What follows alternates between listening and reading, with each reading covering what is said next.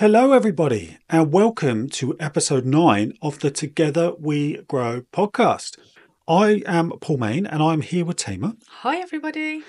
And this is the podcast where we talk through our experiences of building a home fragrance business here in the UK together as a couple, all the challenges that come with that.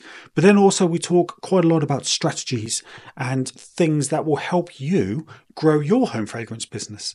And this is all through our new business, which is the Home Fragrance Academy. Now, earlier this year, we sold our home fragrance businesses so, and we started the Home Fragrance Academy to teach people how to grow and scale their business and ultimately sell it if they wish to. So, we talk through all of our successes, everything that we've done that's helped us along the way, and we teach that to everybody. So, if you're not a member of the Home Fragrance Academy, why not? Head over to homefragrance.academy, become a member. We'll give you, you'll have access to all of our courses resources, our community, and also you get direct coaching with us as well, which um, is benefiting quite a lot of people at the moment, isn't it? It certainly is, and this, this has been a really lovely experience to do, isn't it? Yeah, helping as many people as we possibly can. Yeah, we we love it, don't we? So, um, right, and this episode, episode nine, is all about our marketing toolkit. We're going to talk through seven of the key things that we did in our businesses to help it grow. Shall we get on with it? Let's go. Let's go.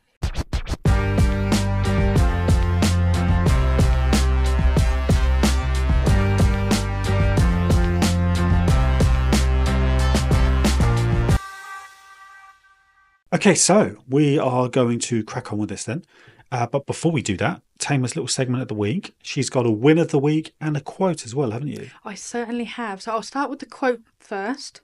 So if the plan doesn't work, change the plan but never the goal. So I quite like that because things crop up in business where you've got to like change your mind and change the direction you're going, but you never want to change the goal because your goal is really important. So it could be to um, like get your first wholesale order. It could be to stock um, your products in your own store. It could be to launch a brand new product. But whatever your goal is, you don't want to change that, but you might need to change and adapt on the fly to get to your goal. Yeah, very good. Okay, and your win of the week? My shout out goes to Brogan from Mountain View Mounts. She's been nominated as a finalist for the 2024 Local Women's Magazine Business Award. Wow. So that is amazing. Congratulations, Brogan. That is incredible work. Yeah, well done indeed. That is very good news. All of these things really do help. You can create some good content around that for your socials. It helps to build credibility for you personally, but also as your business as well. So well done. That is some really good news. Okay, so we're going to talk through our marketing toolkit and the seven things that we use uh, in our businesses to help them grow.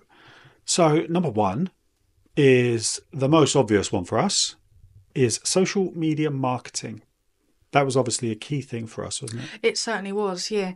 And it was a huge part of everything we did with our home fragrance businesses, and we still do a lot of social media marketing now, don't we? Yeah, we do it for for Home Fragrance Academy, of course, but also for our clients that we have as well. Um, but the you know when we started Cozy Aromas which was our first business, we um, it was a social media led brand, wasn't it? Building that it community and all of that kind of stuff, really. Um, and the key success there for us was actually focusing on engagement yeah, we wanted to build not just somewhere people can just go and place orders, but we wanted to build a proper community and for it to be like a loyal following and for everybody to really enjoy being there. So we put a lot of time and effort into that. Yeah, we did. Yeah. And the key thing, really, what was something that we learnt that so many businesses just do not do, and I don't understand why, is is being very personable mm-hmm. and showing behind the scenes, showing your face. don't just keep trying to sell products, showcasing products and all that kind of stuff. That's important. You need to do that. Yeah. But it's social media. Tell a story. Mm-hmm. Talk about the day to day operating of your business and what you're working on. Show glimpses of you making your products, packing orders, dealing with customers mm-hmm. at your market events, all of that kind of stuff. All of this on social media really works well. And that's what we did, wasn't it? It was. If you're nervous to be on camera, you don't have to be directly on the camera talking all the time. It can just be filming like different clips, piecing them all together, and doing a voiceover to explain what's happening that day. Yeah, absolutely. But also being on camera yourself really does work. It so does. I, it's one of those difficult ones. This is where you're much better at this than me because for me, I'm just going to say, you know, you're nervous to be on camera. Just do it. That's unfortunate. Just do it because it will help your business grow. Mm. So, what's important to you? Do you want your business to grow? Do you want it to flourish? Do you want to build that engagement and that loyal community? Yeah. Okay. Get on camera then. Yeah, you're more black and white with that, aren't you? Well, yeah, but it, it, it's true though. It is true, yeah. But obviously, there's a lot of people that have like severe anxiety about going on camera. So if they could build up to it, Yeah, Uh, yeah, I understand that, and it's mm. it's very, and it's a real challenge. If you have mm. if you do have severe anxiety, which a lot of people do, it's gonna it is a real challenge to to Yeah. overcome these type of things, which help to grow your business. You mm-hmm. know, because it does work, mm-hmm. so do it. And if you're unable to do it for whatever reason, then you need to try and think of other ways which will have a similar impact, other Yep. ways to grow it. You know, it's um it's a difficult one, isn't it? it certainly is. Yeah, we did a lot of videos, and and the first couple ones obviously were like terrible, weren't they? And we'd like record just walking around the warehouse, for instance. People love that. Yeah. They love seeing behind the scenes what you're doing that day. It doesn't have to be scripted, choreographed, anything. No, Just right. walk around with a camera. Yep. That's it. So focus on engagement, creating engaging content, and engaging content hasn't got to be fancy at all. Just pictures, you know, carousels of what you've been up to that day or that week. Um, Reels obviously are fantastic for Instagram, uh, and actually they do quite well on Facebook. But actually, we found that image-based posts on Facebook tend to work better for us. But Reels, I'll tell you, I was having a conversation with someone yesterday when I did a live video in our Facebook group, and it got me really thinking actually what is an easy way way for a business owner to create reels engaging reels? So the type of reel that works really well at the moment is short clips one second one and a half second clips pieced together with a with captions and a voice overlay and a little bit of background music. Something you can very very easily create directly from your phone. You just create little snippets of videos and uh, piece them together using instagram itself do a voice recording on your phone, place that on, add captions, easy. So what you can do every single day is just throughout the day is just record little clips of you working, pouring wax melts, packing orders, talking to the camera, uh, whatever it is. Go packing up. It can even be personal stuff as well. So taking your dog for whatever it is, and then at the end of that day, in the evening, piece it together, record a video, uh, record a, a little voice recording, and post that on Instagram that is a very personal behind the scenes piece of content mm-hmm. that will typically work quite well on Instagram. and it will help you engage with the customer base that you already have and so them get to know you a bit better and like like you and trust you as well because you're showing the process you're showing what you're up to and how the business is going and a little bit about yourself as well Yeah, exactly. And you you actually did this late last year and earlier Yeah. this year for Cozy Aromas. i did yeah You did a daily little mini daily vlogs. Mm-hmm. They're unedited. They're nothing fancy at very all. raw Very raw. Um, but they got thousands of views. yeah they worked really well They get thousands of views. And now you look at some of the stuff that's being posted on that particular channel, the reels are getting no views, hardly anything. You know, it just shows that just doing this, being social on social media works works. There is, sorry, Paul. there is this saying that you should spend eighty percent of your time um, talking about your business and ex- like showing behind the scenes and th- and like more personal things, and only twenty percent of the time selling your products. Yeah, that's it. Wh- The thing is, if your if your Instagram profile is optimized properly, and we have a free guide for that. If you haven't seen it on our website or whatever, ping us a message. We'll send you that a little guide on how to optimize your profile properly. So to encourage, basically, to encourage people to click your link in the description.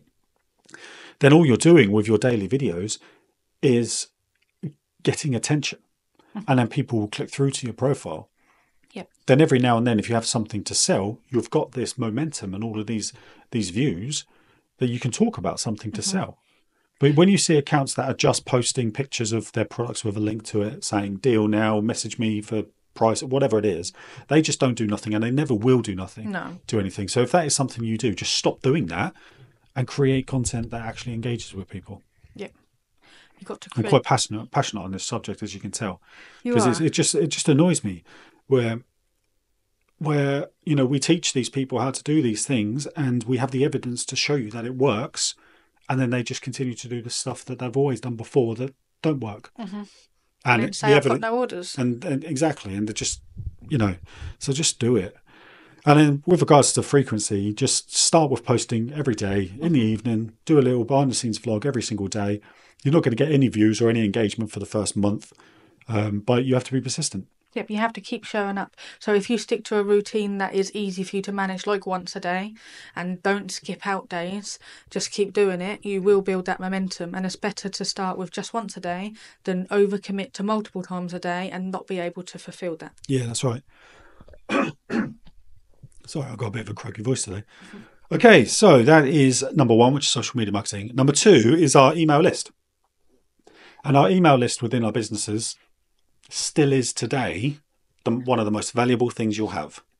Yep, you do a lot of work on emails behind the scenes and all of the flows and the automations and things like that, don't you? Yeah, absolutely. And um, you, it, when we had our businesses, we had email lists of over 100,000 people, um, pushing towards a 50% open rate, which in e-commerce is unheard of. Um, that you know, getting 50% open rate is really, really difficult. But that comes with time, and that comes with nurturing and cleaning your lists, which I'll talk about. Um, and then out of those, probably two or three percent of them will actually click on the link and then you'd uh, sort of click to link to click link to order conversion rate on emails was about 8% so it basically meant that every time we sent an email out we'd probably get about 100 to 120 orders Which And is that- good. which is very good but you can't just do that every single day you can't do that you can't be spammy with that you have to be very um, thought out you have to have a thought out process behind your emails Because if you do spam and you keep sending out, oh, buy this, buy this, buy this, your open rates and click through rates will drop. That's it. Yeah, you have to really your email list. You have to really nurture. Don't just see it as a tool where you can just send emails, send emails. You have to really nurture it, and you'd rather have a small email list with a high engagement rate than you would a large email list with a rubbish engagement rate.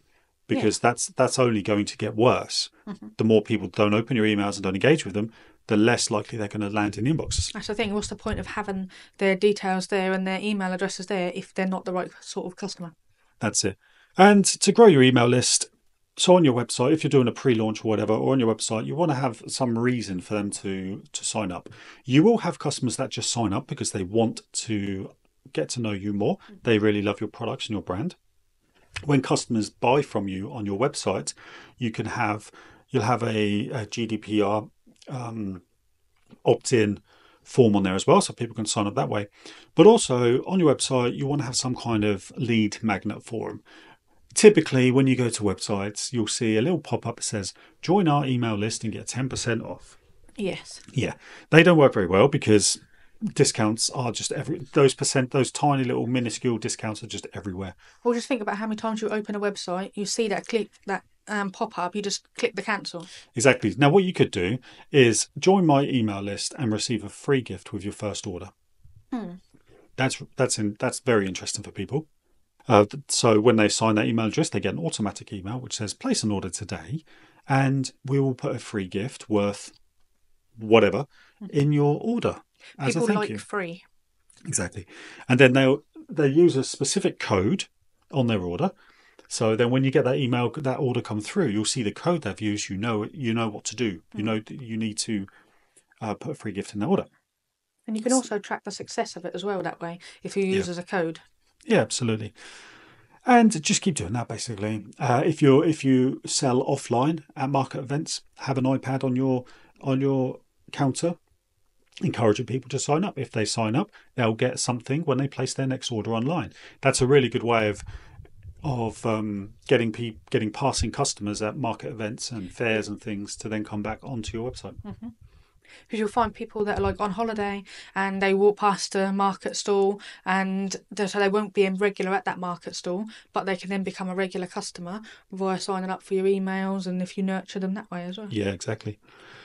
And then what you want to do is nurture that email list, and that is not not by spamming people with buy this, buy this, buy this.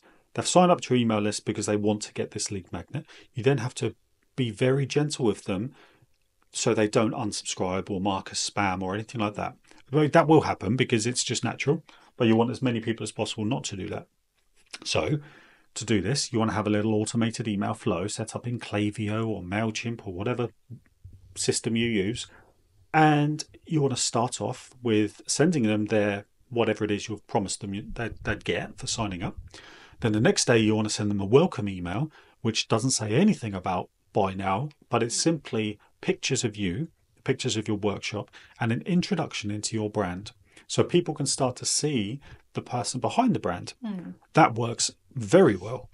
It definitely does because they can resonate with the person. Then when they see you again on social media, they can get that instant, oh, I recognise their face. Exactly. Then three or four days later, send them another email, which encourages them to join your Facebook group or other other social media platforms. We would always recommend a Facebook group. Yeah. Don't have too many links, too many options and things on these emails for people because they'll just get overwhelmed.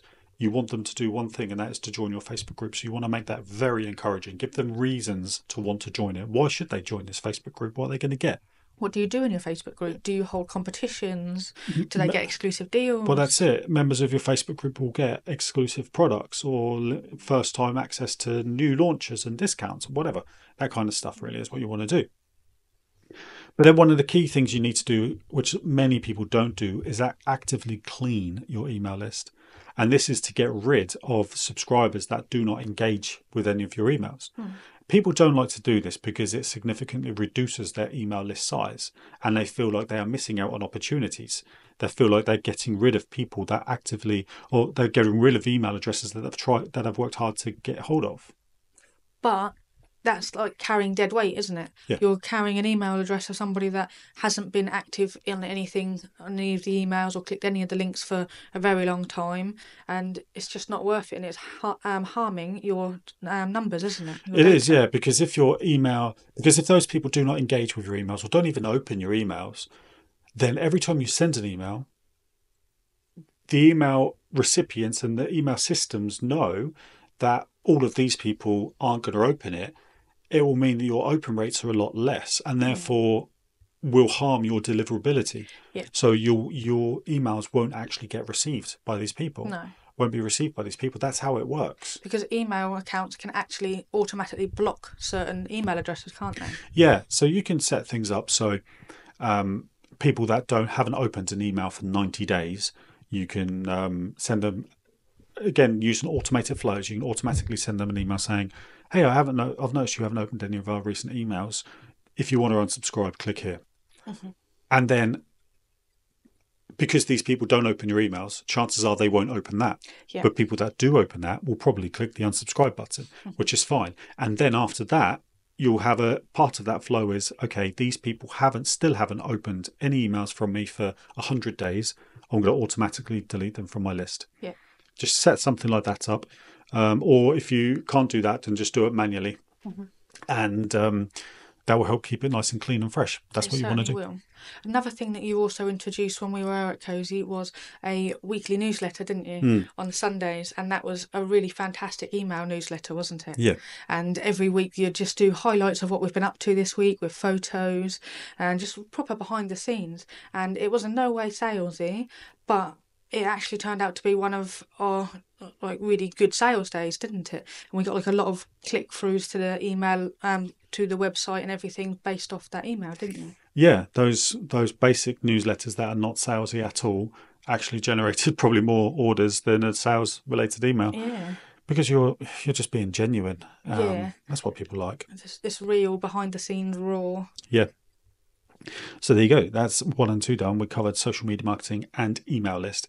Up next, number three is Facebook ads, and this is how we really grew. Um, Facebook ads works. It works incredibly well. We see lots of comments from people saying Facebook ads don't work for me. Facebook ads don't do. It does work. What Facebook ads do, they put your advert in front of the correct audience, in front of an audience of people that's what that's what Facebook ads do. And over time, it continues to optimize itself. So it's putting your ads in front of people that are most likely to take action. But the problem is, if your ad doesn't look compelling or isn't good enough, they're putting it in front of the right people, but it's not resonating with the people. Yeah, exactly. That that's the thing. There's there's three elements to this really. There's more than that, but the three key elements. Firstly, Have you actually optim- set, set your ad up properly so it's going to the right audience? Have you thought about the audience? And, um, you know, are, are you targeting the right people? Secondly, your advert itself. What is that like? Do you have your no brainer offer, which we talk about a lot? Why should people pay attention to it? Mm-hmm. Have something which is like an unbelievable offer for first time customers that they just cannot ignore. You're, if they're seeing the ad, typically they it's something they would be interested in anyway. So then if you've got an unbelievable offer on there as well, why wouldn't they click it? So that needs to be conveyed in your text, the first line of the text, and then bullet pointed with emojis throughout the copy. The actual graphic that you use, you can either have a very short, simple video. Don't make it look like a television advert. Just talk to the camera if you have to and show the product. Mm-hmm. Have a simple image as well. Test lots of creative together. Yeah. That's so that's the second thing. And the third thing is your landing page. The actual when people click on the link, when they land on your website, are they on the right page? Is does this page co- convince people to place an order? Do I know that this is a reputable website? What payment methods do you take? When am I going to get my order? How much is it? What what are the images like? Are the images nice and clear? Where do I see the product description? Where's the add to basket button? All of that kind of stuff. So yes, Facebook ads definitely works, but there's a lot more to it than just yeah. the ads. And this worked so well for us. I guess you know I had a lot of experience doing this historically for other companies in my previous uh, job and previous empl- um, business that I used to run, digital marketing. So I kind of knew all this anyway. Yeah. But it's still a gamble for a new business. You have to be willing to do it and uh, to invest in it as well. Uh, and we did, and that worked really well for us. So the, the, there's three main areas with regards to Facebook ads that we focused on, and I would suggest people focusing on as well. Firstly, is creating that ad for first time customers that I've just literally just now explained, which With is no brainer offer. The no brainer offer. You want something crazy. Buy one, get one free. Buy buy two, get two free. Whatever it is, mm-hmm. it needs to be something that really convinces them. Yes, you're not necessarily chances are you'll probably break even on that or uh, you won't make a great profit on that. But that's okay because hopefully you've learned everything else that we've spoken about and we teach here at the Home Fragrance Academy and put a strong retention strategy in place mm-hmm. because you know that let's say or us at cozy aromas we knew that we could afford to break even or even lose money on that first order because 60% of all of our customers would come back and order again yep. that's where you'd get the profit is from longevity and from mm-hmm. retention so that's a no-brainer offer secondly is retargeting and this is targeting people that have engaged with that no brainer offer or engaged with any of your posts, but not actually placed an order yet. So then you retarget them with the same offer, but different messaging, have a more personal video saying thank you for clicking this link, whatever it is, but send them something, send them, you retarget them with something else to encourage them back to your website. Yeah. Think about what they've already seen and what you could do slightly different to just sort of capture their eye again. Yeah, because people are busy. Mm. They are. You know, they'll see an advert, they'll click on it, and then something will happen. Um, whatever it is, their phone will ring or something like that. Yeah, exactly. Um, so they do need retargeting, and that works very well. You'll get a high percentage of people yeah. convert from that. And then the third thing is is for Facebook ads. This is is retention, mm. and this is something I'll come on to much later on. The whole thing, but retention. You can create little campaigns which help to retain customers. So you target people that for only ever purchase from you. So, and these are ads that are just your Facebook posts. So if you've launched a new product and you've posted it on Facebook, create an ad from that targeting people that have already bought from you. Mm-hmm. Things like that. Uh, you can add to this every week, every time you post.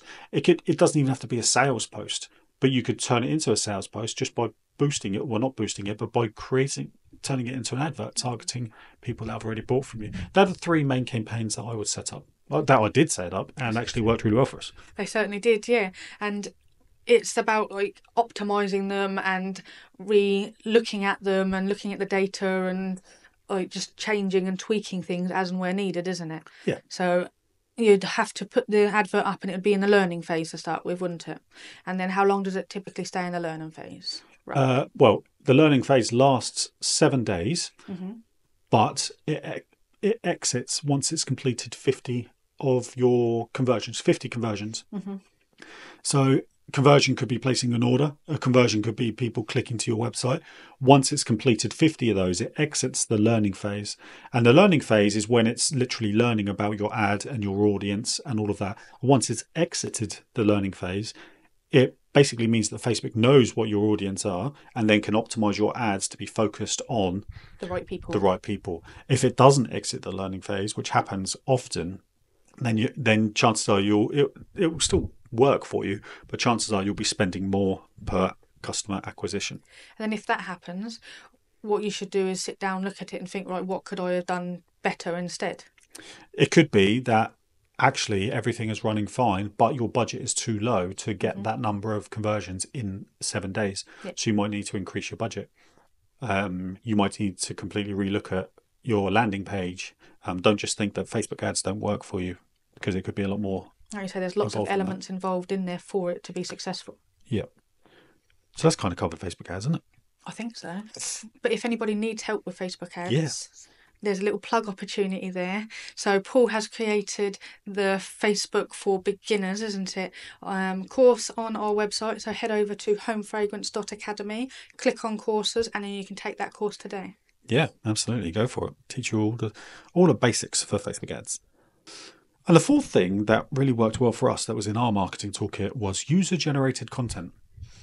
Yes. This is where your customers share photos and comments about your products that you can then use to market your business further.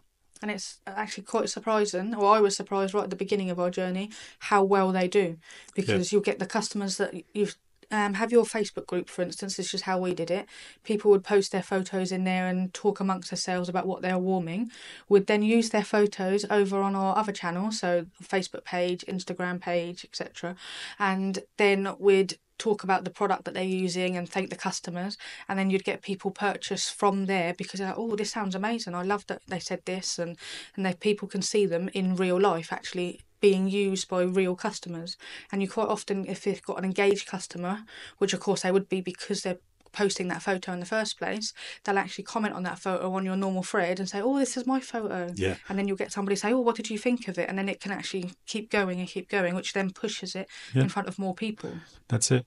And getting user generated content is so easy if you have a Facebook group that you have built up and is engaged because people will just post photos in there of what they're Yeah. using and then you can use that content to help promote your business. And you can ask your customers to Mm. share photos as well. Yeah, absolutely. So, Facebook group to get comments and to get uh, photos and things like that. You and then you can also use reviews. So people that have left you Facebook recommendations, Trustpilot reviews, uh, Google reviews, you can use those as well. And then you need to showcase it all. You can showcase it all in emails by sending out email newsletters or sending out campaigns to people that haven't purchased from you for two months or something like that, saying, "Look at all these wonderful reviews we got. Look at look at this person here is using this. Blah blah blah." You can then do the same on social media. Uh, we used to have like a weekly roundup as such, didn't we? Where we would post a carousel of just what people have been using in our Facebook group. That does two things: it encourages people to join our Facebook group, Yep. and it also shows that we're quite popular and people like using our products. And another thing you can use the reviews for as well is if you are targeting wholesale, you can use them, your reviews in there to show that people really love your products. Yeah, absolutely. That's the thing. You you'll get reviews and you'll get these posts and stuff like that. You just need to use them. Yeah. Um, and actually, here at the Home Fragrance Academy, we need to we Do need some more of to that. do that ourselves, really, don't we? We've got some lovely reviews, and we need to start showcasing those a bit more.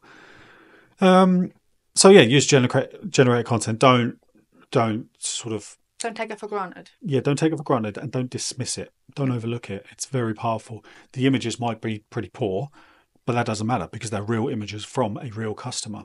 That it it works. Yeah. Number five was influencers. So this was part of our marketing toolkit. We didn't do a huge amount of this, but when we did, we had mixed experiences. But actually, they could they can work really well, especially for like Wax Kind. Yeah, it worked very well with wax kind, didn't it? So we'd find the right sort of accounts that we thought would they've got, got the right sort of following and an engaged following as well, and spark up a conversation with them and see if they'd be interested in receiving the products for free in return for doing a reel, posting on their stories, tagging us in posts, etc. So you have to work out exactly what you would want from the influencer and what they're going to get in return for it, such as the free products, and contact as many as you think you know as many as you can really. It's a bit of a numbers game isn't it? And then just try and spark up conversations. So, in our industry, how would you find the right type of account, and what would you determine is the right type of account? so in our industry or in the home fragrance industry i'd look for like home accounts. So home decor and so you could look on different like shops. So like neptune's in colchester for instance. All the people that follow them because they've got some really nice upmarket kind of people they'd follow that whoever follows that account have a look through and click on their profiles and review their content and have a look at the way they take their photos their videos and their engagement and then go through like that. I think that's a good way of doing What, and then what? Contact the likes of Neptunes or contact the followers? no the actual hmm. followers sorry. i should have explained that a bit better Yeah, so you contact the followers. You want to look at ones that have got sort of 5,000 followers, something like that. You want the micro influencers, but it's more about the engagement. So when you click on the photos, have they got lots of likes, lots of comments? Um, are they having conversations with their audience? And then just send them a message saying, well, I love your account. Keep it personal. I love this particular photo of your daughter you took on the 5th of May. That's a lovely looking dress that she's wearing. Um, I, I really feel that your account would um, benefit from our, our products, so from, having some kind of collaboration. I'd love to send you some products for free in exchange for a couple of posts and a story. yeah See what they say. That's a numbers game. You want to contact 100 of them and maybe five will say yes. But that works. It does, and you get some really lovely content that way usually because Yeah. the people you're choosing are the sort of people that take really lovely photos and videos. So you can reuse that content. Mm-hmm. Plus, also you're getting the benefit from the uplift of their audience. Yeah. um, and it just just works. Mm-hmm. You can't just do one and hope it's going to transform your business. This, if you're going to do this, you want to have it as a strategy. You want to be sending out 10 product 10, 10 sort of products a week to these influencers. Mm-hmm. Um, that's a really good way to grow your business. Um, yeah, I think I wish we would have done more of that actually. Yeah. But that's that's a fantastic way of doing it. And number six is retention. That was part of our marketing toolkit as well. And I briefly touched on that with regards to Facebook ads, didn't I? You did, yeah. So retention is basically the amount of customers that come back and order from you time and time again. Mm-hmm. They're your loyal repeat customers. We worked really hard with this at Cozy and we got up to 60% returning customer rate, which is quite high, especially at scale. Mm-hmm. So in in a, I think I, I've done this in, in one of my courses, didn't I? I think it was in a three month or six month period. We had like thirty thousand orders, and um, you know almost twenty thousand of those were from repeat customers. which is amazing. So trying to do that at scale. If you're very small and you're getting hundred orders a week, uh, hundred orders a month, you would expect quite a high retention rate. Um, not straight away, of course. This is something you can start to measure after about six months, but you want to get that nice and high. Anything above forty percent is good. Um, and then what that basically allows you to do is you, you need to understand these numbers. So if if let's say fifty percent of all of your customers come back and order from you again, that means you can afford to spend a little bit more money to acquire a customer. Yeah, it means you know exactly how much you can spend, doesn't it? Exactly. You need to work out the numbers, your average order value, your profit margin, etc. And then once you've done that, you can then decide, okay, I know, for instance, I can now spend £20 to acquire a customer because I know they're going to come back and order again. And actually, I know that on average, all of my customers over a course of a year, two year period will place five orders with me. Hmm. If they if they place more than one order, I know on average they'll place five. Yep. And let's say it's a twenty pound average order value. That's a hundred pounds you've got there, hundred pounds. And let's say you're working to an eighty percent margin. That's eighty pounds profit. Let's minus a bit of Facebook ads and stuff. Let's say sixty pound profit. So you know that you could easily afford to pay twenty or thirty pounds to acquire that customer, because you know on average they're going to spend. You're going to you're going to earn sixty pounds in profit from them. Yeah, they haven't. Um, having the data there and understanding it means that you can make the best decision on how much to market Yeah. and you know just get as many people in as possible That's it. And to increase your retention is so much easier than what you probably think. yeah And it's a, it's a mixture of everything we've just spoken about. Mm-hmm. So it's doing the engaging Facebook ads.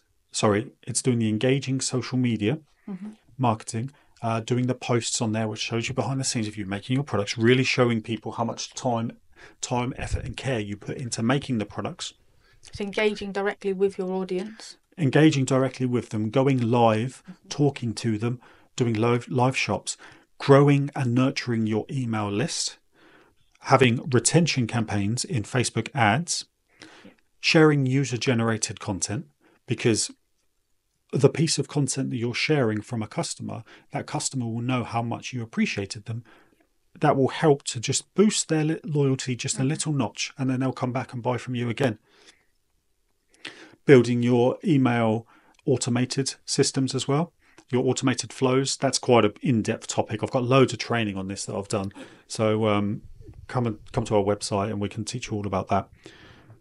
But that's the thing you want to do and most importantly the thing that works so well for us was our facebook group It certainly did. It was a fantastic place because we had all of our customers in there. We had at one point we had almost ten thousand people in there, didn't we? Yeah. And they would be talking about the products and sharing everything that they've been warming. So that's where we'd get our user generated content from a lot. But also you can engage with them properly and you can answer their questions in real time as quick as they're posting them. You can ask their opinion on things, find out what they want for upcoming launches, and just talk to them. yeah Like every evening I'd- at seven o'clock, I used to put up a post about something to do with anything to do with the day, whatever I've been up to. That's it could be a picture of Willow, our border collie, and just something really personal, and it's a proper connection. Yeah, and all of this is so much easier than what you probably think, mm. but it just takes time and discipline. Yeah. You have to stick with it. You have to keep going, keep doing it when it looks like nothing's happening. How often do we see comments from people saying, Oh, it didn't work. And like, well, how long? I've did posted on it? social media, so Instagram does nothing for me. Does it do nothing for you? What have you done? Oh, I posted four times in the past week and I didn't post again. Just Yeah. just stick with it. Post post daily. Mm-hmm. Do the the nice behind the scenes content. Do it. Don't think about your followers or anything like that in the in the first instance. Just get into the habit of doing it because you know eventually it's going to work. Hmm. Once you've done it for a month, two months, three months, all of your competitors will have dropped off. We know this because we see it all the time. Your competitors wouldn't have done it. They wouldn't keep up with you. So just keep doing it. You're straight away. You're ahead of most of your most of everybody else that does this stuff. You need to outlast everybody else. That's it. So stick with it, guys. And then number seven, the final thing is uh, is actually something that everybody that I've seen overlooks, and that's analyzing your data, analyzing how campaigns have run, looking at your results of your campaigns, your emails, your Facebook ads, your social media posts, and learning from them. Now, if you have all of this, you always have this data available, but if you don't look at it and adapt, you won't be able to succeed, will you? Essentially. No, and you will next time you have a product launch again you need to look at all the data and work out okay this worked last time but this didn't so for this one i'm going to change and try this so that you can adapt Yeah. things around Yeah, but you need to sort of, they need to know, people need to know what they need to look at to understand if it doesn't work. Mm-hmm. And what do they need to look at to understand if it does work? So on Instagram, you can go into your profile and you can look at data, you can look at your most recent posts. And you can do it by, I think it's engagement rates or something like that. And you can see, and they're- they're listed in order. It tells you right at the top, these are the ones that got the most engagement. And at the bottom, these are the ones that didn't. So the ones that didn't, don't make any more of those. The ones that did, make more like that. You Just- can look at seven days 30 days and Yeah. 90 days That's so simple, isn't it? Just mm-hmm. recreate content that is performing well. Recreate it in different formats. If it's a reel you did that co- that worked really well, do it as a carousel. Re-record the reel, but use different B-roll footage, Yep. stuff like that. On emails, you want to look at click-through rates, open rates. So open rates, you want to be above thirty percent. ideally above 40% if you can, but it's hard. Click through rates, you want to be above 1%, 2%, something like that. If you can get it above that, great. If it's if you run campaigns that are less than that, then why why aren't they opening your emails? Look at the subject line. Mhm.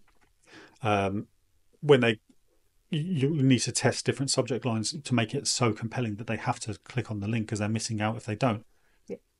Then when they're on the on your email, is your click through rate really low? If so, why? Have a look at it. Where's your call to action button? Your call to action needs to be nice and high. You really only want to have one call to action on the page. Don't have a don't have an email full of links because people won't know what to click. Don't have an email that's full of text unless it's an email newsletter, of course. Mm. If it's a sales related one, you want a beautiful image. You want to very sh- quickly you want to say this is what this product is. Want to find out more? Click here. Click here. Or this is the offer we've got on this product. Want to read more about it? Click here. Simple as that. It's that kind of stuff. On Facebook ads as well, you want to look at your frequency rate. And the frequency rate is the number of people on, oh, sorry, the number of times on average everybody sees this ad. If it's upwards of four or five for a for a first time customer, um, then you probably want to tweak that slightly. You want to narrow down the audience, or sorry, expand your audience, or create new ads. Uh, but for but for retargeting ads, you want that to be four, five, six, um, and then retention will be the same as well. So there's all that stuff. You just need to look at your data, Yeah. understand, try to really analyze what's what's happening, and then it just allows you, it just guides you on what to create. And all of these little things that you do, will over time, will have such an impact. They certainly will. If you make all the small tweaks, and then your next launch will be uh, hopefully a lot better. Yeah. And then every time you improve something a bit more, and then a bit more, and then you've hit your secret sauce almost. Yeah, exactly. So there you go. They are the seven things that were in our marketing toolkit that worked very well for us. And I think if you implemented these things and made some small tweaks in what you're doing, you'll see some positive results. We did. We did, and we've we've we had we ran three different home fragrance businesses, and we did this in all of them, and it works. We're doing it with the Home Fragrance Academy, and it works. Um, yeah, implement it into yours and see what happens. And make sure you let us know how it goes as well, because we love hearing how you get on with all the impl- all the changes you implement as well. Yeah, that was That was a really good session, but you have got another plug in here we need to add in for the retention engine. Yes, I created another course. That's This how one is a free course as well. oh, that's how good I was last week. I created another course, mm-hmm. and yeah, this is a free course, completely free. Just go to our website and you can take it. It's called the Retention Engine, and that's a 33 minute course where I talk about the five key strategies we implemented uh, to increase retention rates in our business, and then how you can do the same as well. A very short course, completely free. Head over to homefragrance.academy, take that course, and let me know how you get on. Exactly, and we can't wait to hear all the results. Absolutely. Thanks everybody for listening. And we can't wait to speak to you next week. Take care. Bye bye. Bye.